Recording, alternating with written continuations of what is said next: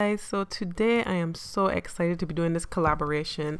It's called the favorite organized space collaboration and uh, i was approached by catherine from do it on a dime to do this collab as well as cass from organized clutterbug to do this collab. So uh, those are one of two of my favorite favorite youtubers. So i'm so honored to be doing this collaboration with them today.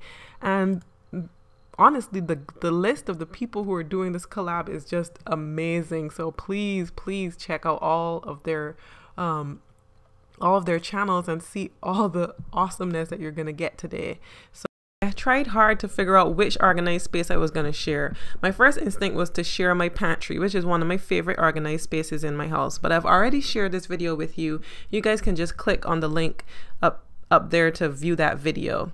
Uh, also, I wanted to share maybe my fridge organization, but I've already showed that video. You can also click on the link to see that. I have a DIY charging station that I made, and I thought you guys might be interested in that, but um, maybe I'll share that later. There's also my little jewelry, hanging jewelry thing that I made. I thought uh, that might have been a good one. Then I also thought about doing my vanity. So all of these are uh, some videos that I'll make in the future, but for this video, I decided I want to show you my entryway. So without further ado, I want to go ahead and show you my entryway. It is my favorite because I use it every day and it helps me to get my twincesses out the door in the morning and just to keep everything organized when they get home from school. So also keeps my family organized by the calendars and keeping us all up on the same page about what's going on. So I really hope that you enjoy this video. Hi guys, so today I'm going to be showing you an organized space in my entryway for this collaboration. Um, um, this is what we just call our little entryway and it's it helps us be organized in the morning especially um, because we keep all the girls stuff here in terms of their shoes, their coats, their bags. And it's a good place for them to sit. So here I have this ledge, which I got from the Home Decorators collection. Then I just attached a piece of white MDF that was already, um, it was already stained and everything white. So that was pretty easy. It still needs to be caulked, but you get the basic concept. Um, also have these hooks on here, which makes it easy to hang up the girls' coats when they come in. On top, we just have some decorative uh, frames, which I need to get some more pictures for, but um, and then for the bench itself, this is a bench that I got from Target, Target, and it um, I got it on sale. It's regular $220 and I got it on sale for $129. Um, plus with the red card, you get the 5% off and free shipping. So this was a pretty good deal. And I like that it has the three baskets and it has the space for the girls to sit. It came with three cushions on the top, but I combined those and I did a project where I just made this little no-sew um, no-sew pillow on the top. So I was able to use some blue chevron duck cloth that I found at Hobby Lobby and just covered this and I have a blog post on exactly how I did this without sewing a stitch. Um, and I like also that the duck cloth corresponds with the bulletin board which I also made. I just used the same exact fabric for both of those projects and both of these projects are up on the blog.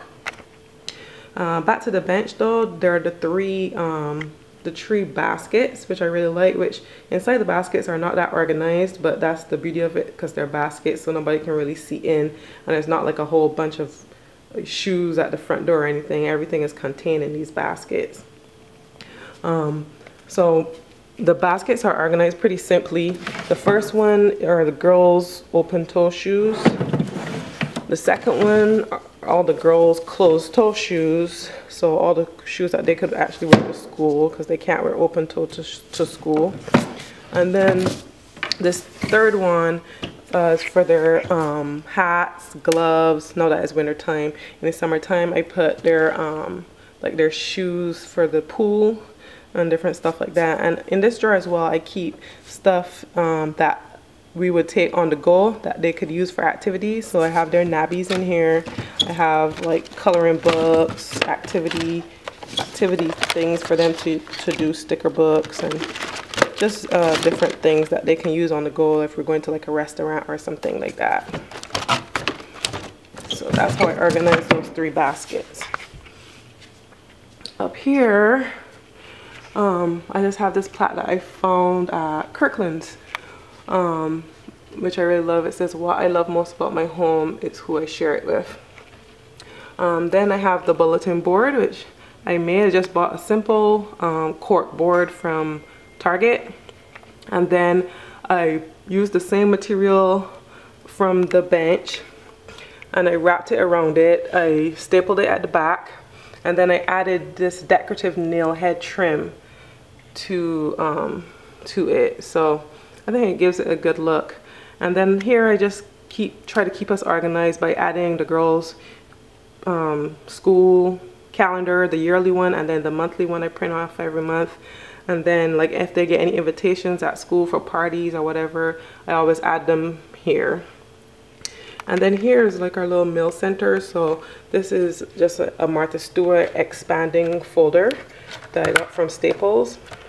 And here this is supposed to be set up for incoming mail and outgoing mail. So Guys, that when we come in through the door if we have mail we're supposed to just put it in here and please and, if you like what you see um, please do comment get time to sort it later on. of course then if there's channel. any outgoing mail any bills or whatever we could put back here. So on the way out you can always just grab and go. So that is the setup for this little organized space